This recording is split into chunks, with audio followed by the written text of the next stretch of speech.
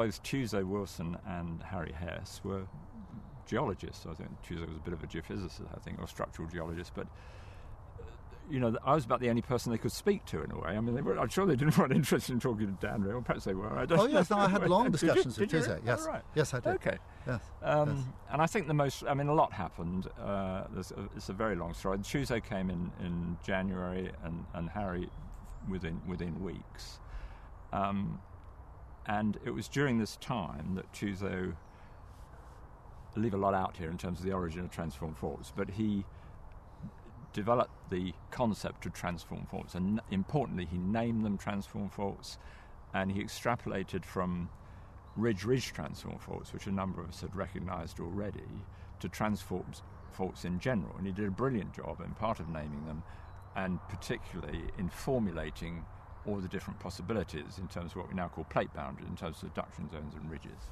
And of course, he then traced around what we now call plate boundaries. He and interestingly, you know, Dan, at the beginning of his paper on transform faults, he uses the word plates. Yes. You yes. realise that, yes. Because yes. people were asking, you know, where plates came and where plate tectonics came. Anyway, yes. I don't think he used plate tectonics, but he used plates. He used plates, but not plate tectonics. I still don't know where plate tectonics. No, exactly.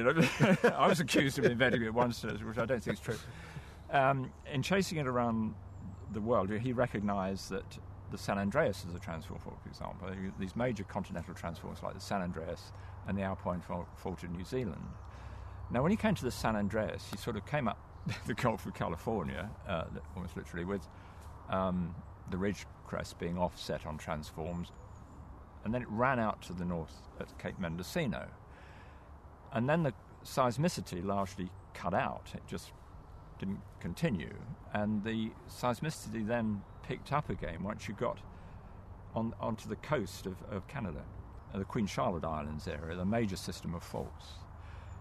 And the logic of his idea was that if, if you had an offset like that in the seismicity, which presumably reflected transforms, then there must be a ridge in linking them. And this is what we now call the Juan de Fuca Ridge off Washington and Oregon. It would have been discovered earlier or recognized as a ridge had the bathymetry, the detailed bathymetry, there's very detailed bathymetry available, but it'd be classified because it was um, obtained by the American military in relation to submarine work. They needed detailed bathymetry, they needed detailed gravity field. But in doing that work off the western coast of North America, they'd done some very extensive work in those two fields, the bathymetry and the gravity. They'd also measured magnitude. Well, they hadn't. Somebody suggested at Scripps that you put a magnetometer on board while they were doing this very detailed survey. And people like Ron Mason, who was a graduate student at the time, I think, was one of the hacks who had to operate the right. magnetometer for right. weeks or months on end. Anyway, in that way, they acquired all the magnetic data. The magnetic data was released because the military were not interested in it. So, when and, and Harry Hess, who was a admiral or something, some sort of admiral. Yes, he was an admiral in, in the Navy, uh, American Naval Reserve because of his lieutenant, he was lieutenant commander or whatever during the war.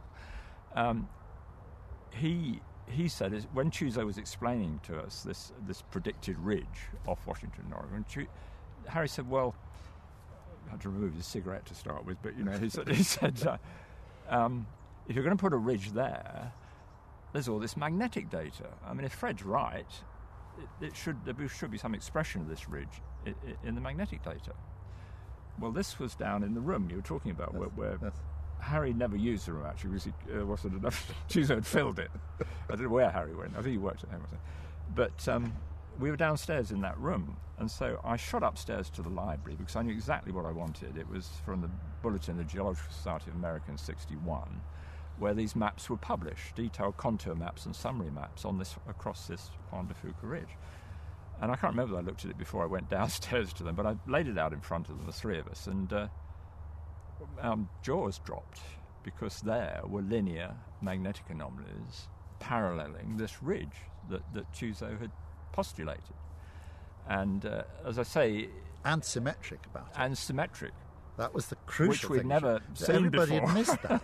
Right? I mean, it's been in the uh, literature for for what by that time? Oh, four years, yeah, four least, or five years. Yes, at least. And nobody yeah. noticed the symmetry about the axis no, until you no, did that. Quite, quite extraordinary, yeah. absolutely extraordinary.